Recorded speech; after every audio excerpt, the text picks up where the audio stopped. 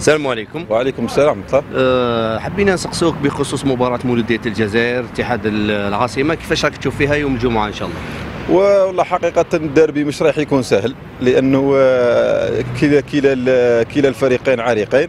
إنما الحظ بالك راح يتوسم مولودية الجزائر بحكم الطاقم النجومية اللي راها فيه بلاي على رأسهم بلايلي وبايزيد.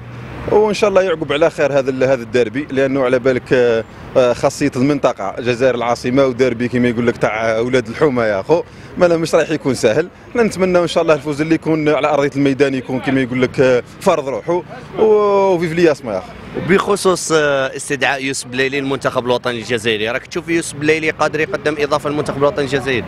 والله حقيقة المجهود اللي راه يبذل فيه يوسف بليلي مؤخرا يبشر بالخير. حقيقة ما يقولوا الدوري المحلي وكذا وكذا. بصح أنا نشوف فيه باللي راه يقدم في إضافة لمولود الجزائر.